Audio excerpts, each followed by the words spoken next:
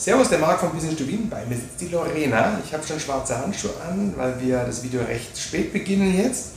Wir machen, er kommt in, aus der Nähe von Stuttgart und wir machen bei dir jetzt ein ja, Conch, aber recht tief in der Mitte eher und ein Tragus-Piercing.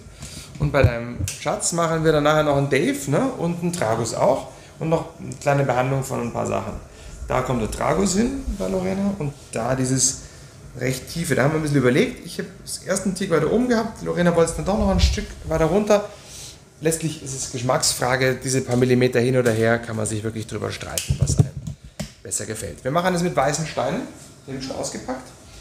Ich hätte mir für den Conch einen zweieinhalber Kugel genommen. Das ist ein bisschen kleiner, weil ich finde, die Stelle, die Falte wird sehr eng. Da ist eine Dreier, die fast ein bisschen auseinander Also oben drei beim Tragus und da zweieinhalb. Da war ich so frei, dich nicht zu fragen, das einfach über dich hinweg zu entscheiden. Das ist okay. Ja, bist nicht böse, Gott. Dann würden wir stechen, Lorena. Ich muss von dir wissen, wo du anfangen willst. Oder ob es dir wurscht ist. Das schmerzhaft, oder? Ja, das schmerzhaft, richtig, mal. Zur Ehrenscheibe geschmerzhaft. er kennt sich aus, er ist ja Piercer, oder? Nein. Nee, ich würde sagen. Tragus zuerst, also ich, deswegen schau, was ich jetzt sage, ist falsch. Wenn ich sage, Tragus tut mir weh, sagst du, nee, es war andersrum. Wenn ich sage, das tut mir sagst also machen wir es Tragus zuerst. Ja. Gut, okay, dann machen wir das mal.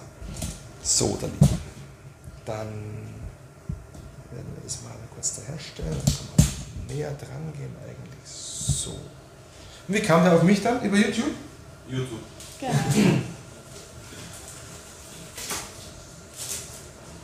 Guckt ihr dann die Videos ab und zu an oder nur selten oder regelmäßig? Oder also er guckt mehr wie ich. ja, cool.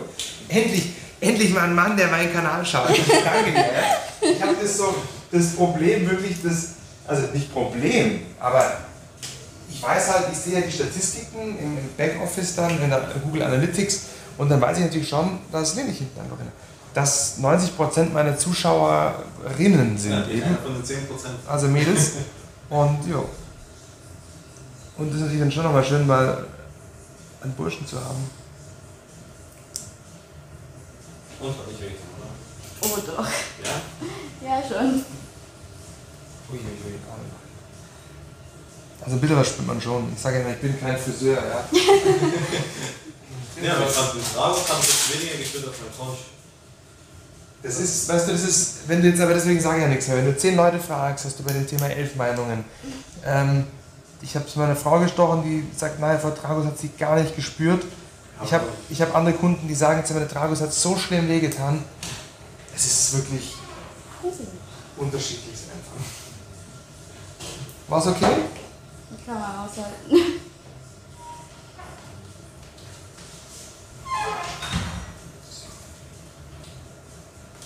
Dann sind wir fertig schon bei dir. Dann tun wir noch die zweite Seite machen. Einmal rüberdrehen. Darf ich dich kurz bitten? Ja. Nimmst du mir das kurz an dem Griff einfach? Hier? Ja, genau. Einmal hochnehmen und dann trägst du es einfach darüber. Drehst es einmal so rüber. Ja, die Kamera folgt dann automatisch. Jawohl. Perfekt. So. Jetzt weiter musst du ein bisschen zurückdrehen zu mir. Yes, please. Perfekt, so ist gut. Das erste, der Erste, der mein Gimbal anfassen darf. Aber du bist ja ein Mann, da weiß ich du die zweite kannst. Ne? So. Gut. Also. Schaffen wir noch, oder? Ja. Ein schöner Name, Lorena. Danke. Eine meiner Großcousinen, also heißt so Großcousine. Ist Großcousine jetzt noch die, die, die Kinder vom Cousin aus nach Großcousine, oder? Das ist auch Lorena. Hast schon geschafft schon. Von denen habe ich auch mein ganzes Leben nichts mehr gehört. Du. Ich gucke mir auch meine Videos an. Ja. Wussten wir gar nicht, dass sie Großcousin sind oder Großcousin sind. So.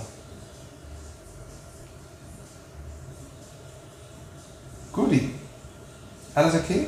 Ja.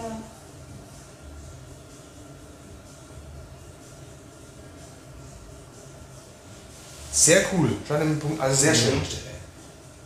Ja. Das ist ein Piercing, also das kann man jetzt nicht sagen, wie das heißt. Es nennt sich, ich sag dazu, ähm, es ist Low Conch, ist eigentlich wieder hier. Ja. Es ist ein tief gestochenes Conch. Ich finde es einfach sehr, sehr schön. Es ist, muss sagen, bei dir finde ich es jetzt echt gerade mega. Also mich haut es gerade richtig weg. Nein, das, ist, das steht da dem Rohr, sieht einfach richtig geil aus. Das muss man einfach sagen, es Ja. passt einfach perfekt. Ja, Das ist schön auch. Wirklich jedes Ohr ist anders und jeder Look wirkt anders. Und bei Ja. dir, das ist einfach so, du sagst, das ist voll letztes Lorena, ja. Ja, Das ist, das ist das Lorena Piercing. Das nennen wir jetzt einfach Lorena Piercing, ja. Dann hat sie auch ein eigenes Piercing. So, okay Lorena, dann sind wir fertig mit dir mal. Wir lassen das Video gleich weiterlaufen mit dir. Oh, jetzt rufen die schon wieder an. Ich mache mal hier Pause. So, jetzt bin ich wieder da. Der Emilio liegt jetzt bei mir. Und, ähm, Kuban. Dachte der Italiener. Hablas Español? Un poquito. Vielleicht mehr oder weniger, das ist die Frage. Okay, ähm, vamos a ver, wie der Spanier sagt. Los geht's. Wir haben hier das Thema Wildfleisch und dein Piercer hat gesagt, das ist alles in Ordnung, das dauert halt einfach ein bisschen und ich habe jetzt gesagt, Genau. das ist, äh, dauert nicht ein bisschen, das wird nie weggehen, weil du hast hier Chirurgenstahl drin. Dir wurde aber explizit gesagt, das ist Titan. Titan. Was, die stechen nur mit Titan und auch teurer als ich und hin und her. Und das ist Chirurgenstahl, wie er nur so glänzt und leuchtet. Also das leuchtet im Dunkeln quasi, das ist Chirurgenstahl. Und ich muss jetzt entweder dem, also entweder muss sagen, haben die halt wirklich keine Ahnung von dem, was sie einkaufen. Oder sie glauben das einfach irgendjemand, also wie dass der Weihnachtsmann mit dem Schornstein kommt. Oder sie haben dich halt einfach nur knallhart angelogen. Wir haben alle Varianten immer wieder. Ähm, gibt Studien, wo einfach den Kunden wirklich einfach einen Blödsinn erzählen. Und gibt Kunden, Studios, will ich das wirklich nicht wissen. Nur wenn ich mein Studium ein paar Jahre habe und ein paar Monate, dann sollte ich schon sowas wissen. Vor allem dann merke ich das ja auch, dass das jeder hat. Und spätestens wenn einer mal meinen Kanal anschaut, dann sollte er wissen, dass da Unterschiede sind. Ich muss sagen, jetzt sieht es ja eigentlich noch relativ gut aus im Vergleich zu vor zwei, drei Monaten. Das ist, das sieht man sofort. Das ist eindeutig Chirurgenstahl von der Farbe her. Und Wildfleischdisco und so wurde auch nicht vorgeschlagen, oder wie? Nee, das, da bin ich mal hin, aber es hieß, nee, einfach nur weiter pflegen. Die hatten das gar nicht im Sortiment. Hast du Brontolint genommen wegen mir oder wegen denen? Äh, nee, das gab dort nur Prontolint, aber das wusste ich auch. Ich habe extra gefragt und sagen, ja, wir haben nur Prontolint. Aber hast du nur Spray genommen oder auch E? Nee, nur das Spray. Ja, das ist auch wieder das ist nur die Hälfte der Miete, ne? Aber egal. Besser Brontolint schon mal Spray als gar nichts, ja? Immerhin, da haben sie richtig gelegen. Ja, man, man fragt sich natürlich dann schon, warum sowas ist, ne? Aber anscheinend müssen doch alle Navin kommen zu mir.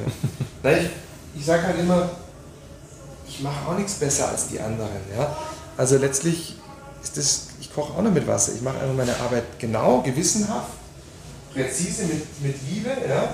Aber letztlich könnte mir das jeder nachmachen. Also man muss einfach nur so arbeiten wollen, dann klappt es auch. Ja, wir haben ja jetzt gesagt, selbst wenn alles mit dem Flug und alles auf 300 Euro rauskommt, es lohnt sich dann einfach.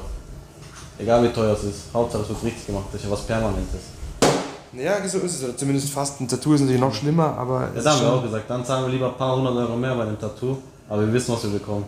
Ja, genau. Ich habe letztens bei Instagram so ein geiles Video gesehen, wo einer so ein Angelina Jolie-Tattoo sich hat. Das ist ein Tomb Raider. Das habe ich auch gesehen. Hast du gesehen? Das war so geil, ne?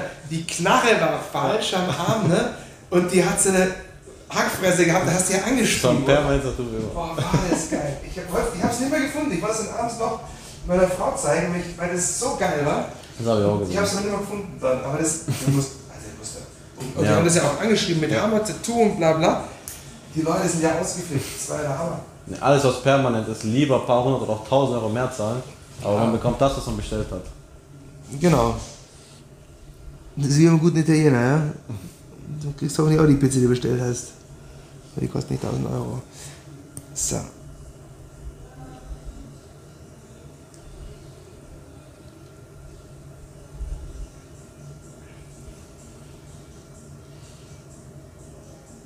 Ist noch relativ dick, du. Dann- Aber man muss sagen, ich musste teilweise die Kugel sogar abschrauben, weil die fast rausgeschossen wäre, so, so angeschwollen war das.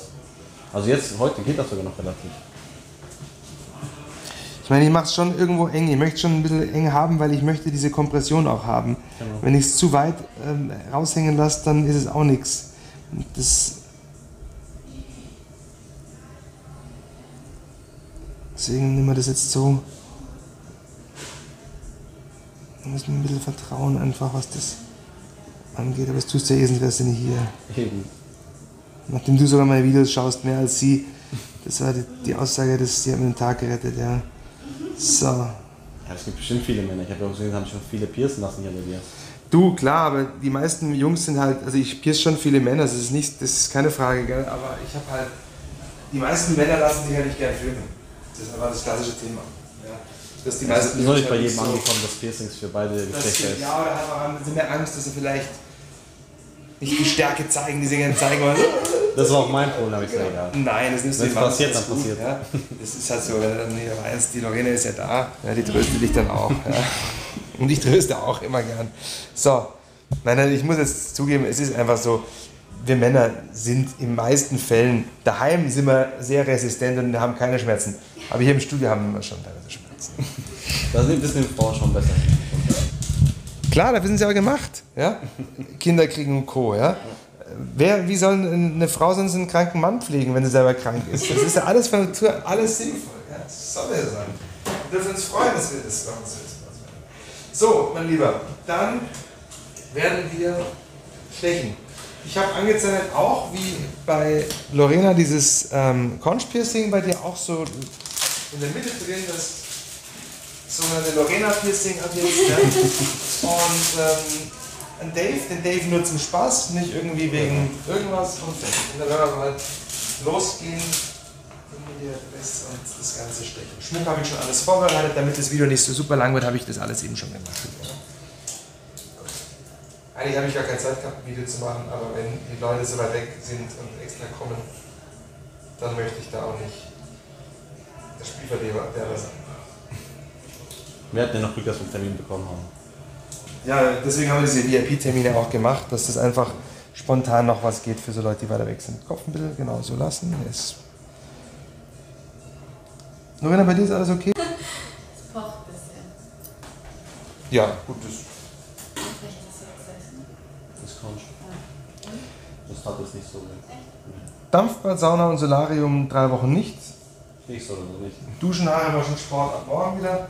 Und Haare färben sechs Wochen wieder nicht. Ähm, Schwimmen gehen, Ausnahme sind Seen und Flüsse, wenn man nicht untertaucht und die Wasserqualität gut ist, natürlich, das ist klar. Dann Chlorwasser, ups. Chlorwasser, ähm, bitte keine Hotelpools und, und, und so Anlagenpools, was man machen kann, wenn man einen eigenen Pool hat und da kein Chlor drin ist oder nur ganz wenig, dass man da reingeht. Aber das muss man wirklich wissen, was dann an Chlormenge auch drin ist, wenn es nicht übertrieben ist. Oder man lässt den Kopf draußen. In den öffentlichen Bädern würde ich gar nicht reingehen, weil dann springt immer irgendein neben dir rein und macht einen Arschbomben, weil dann du das ganze Ohr voll. Das ist bei uns sowieso geschlossen, die renovieren diesen Sommer. Sehr schlau, das wird auch im Sommer renovieren. Nee, warum du, warum jetzt auch bei schönem Wetter äh,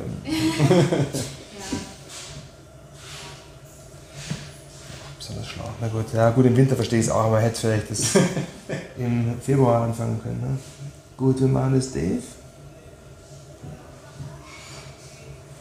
So. Was schlimm? Das war jetzt schon schlimmer, ja. ne, es ging trotzdem, aber es hat schon einiges mehr getan. Also er weint ganz im Stillen in sich. Für mich alleine. ja, genau. Für die Zuschauer und für Lorena nicht. So. Ja, Nein, sagen, das tut viel mehr weh, oder? wir haben einiges. Aber ich fand, also mein Conch-Proben, die hat jetzt am meisten wehgetan von allen. Marlene, was ist los? Ich weiß, dass es einfach so ist. Ich weiß auch nicht, was zurzeit los ist. Ich habe es schon gesagt, es ist, liegt auch gar nicht am, am Video. Ich habe einfach, der 1 Uhr Termin kommt immer zu spät momentan, ne? Nee, dann irgendwie, wir haben immer, dass wir irgendwie die Anfangszeit zu spät sind und ab 16, 17 Uhr sind wir wieder in Time. Ich weiß auch nicht, liegt. Ja, wenn der erste Schritt und das zieht sich dann bis zum Ende des Tages. Ja, wir können dann auch nicht Nein sagen, wenn irgendwelche Notfälle sind. Weil wir halt einfach auch helfen, verarzten. Und das dauert so, also bitte die- diese Conchs wechseln und Bildflash das drauf. Das ist einfach 10 Minuten da dort. klar. Weil ihr bist jetzt fertig mit Stechen, ich erkläre die Pflege und dann mache ich das kurz mit dem, mit dem Dings, mit der. Ne? Komm ich kurz runter. So, also, ihr zwei, beide erledigt, gestochen, überlebt. So, Lorena und Emilio, ne? Ja. Schön, dass ihr da wart. Ich erkläre mal kurz die Pflege und dann sind wir eigentlich mit allem durch. Die Lorena hat immer noch ein Spiel, weißt du nicht warum? Aber die schaut sich wohl selber gerne Nein, an. nein, ich hab Gib ihm mal den. Was siehst du denn, Dave, auch? Nur die eine Kugel. Wurscht, ich zeige es in einem großen dann Doppelspiegel. Ähm, erster Schritt, ihr wisst es eher aus den Videos, Hände waschen, Hände desinfizieren. Dann nehmt ihr bitte zuerst Brontolin Spray. Vom Brontolin Spray haut euch bitte zwei Sprühe vorne und hinten auf die Ohren drauf. Bei dir einfach auf der Seite das ganze Ohr ansprühen. Bei dir eben das eine Ohr, das andere Ohr. Spray 30 Sekunden einwirken lassen. Nach der Einwirkzeit nehmt ihr euch eine Küchenrolle, putzt das Piercing bitte damit feucht ab. Ihr könnt euch gerne gegenseitig helfen, weil gerade im Ohr rein, bei den Dave brauchst du Hilfe von dir. Ich sehe es leichter, genau. Und danach nehmen wir das Gel, da reicht euch ein Tropfen, den tupfst du vorne und hinten auf dem und das war's. Mit dem Finger, die habt ihr vorher desinfiziert. Und dann bewegt ihr die Piercings nur vorne und zurück, ganz wenig. Weniger ist mehr, wenn ihr zu viel Gel habt, ist es wie so ein Uhu-Film. Das ist ein Zeichen, dass ihr zu viel genommen habt, dann bitte einfach deutlich weniger verwenden. Und bei meinem Conch und Dragos einfach nur Kontrollen Spray. Beim Pontolin, beim Conch und Dragos ist der Pontolin Spray, das gebe ich mir auch drauf sprühen, weil das einfach auf jeden Fall hilft, dass das schneller wieder in den, in in den Griff geht und das sich wieder besser beruhigt. Also da würde ich auf jeden Fall mit Gel auch behandeln, das hast du jetzt eh dabei. Die Disc lässt mal 6, 8 Wochen drauf, dann sollte das Wildfleisch weg sein und dann wechselst du mal wieder auf den Schmuck, den du gerne hättest, oder tust die einfach runter und lässt die Stecker drin. Allerdings sind die dann etwas zu lang, weil natürlich, wenn die Discs ein bisschen mehr Platz Ja, beim Conch will ich sowieso eine Ringe rein. Kannst du dann auch so. Aber dann, ich, dann bis dahin muss es tipptopp sein, sonst kommst du wieder nicht ins Wieder. Dann Ja, habe aber ich schon- getan, nicht wieder irgendeiner, der total ist, aber noch nicht ist. Ja, Ich habe schon 10 Monate durchgehabt. Also. ja das schaffst du alles. Also, vielen Hat mich Dank. gefreut. Danke. Danke dir. Danke euch fürs Zuschauen. Kommen wir sagen nochmal einen Tschüss zusammen. Und Ciao. bis zum nächsten Mal. Ciao, ihr Lieben. Macht es gut. So.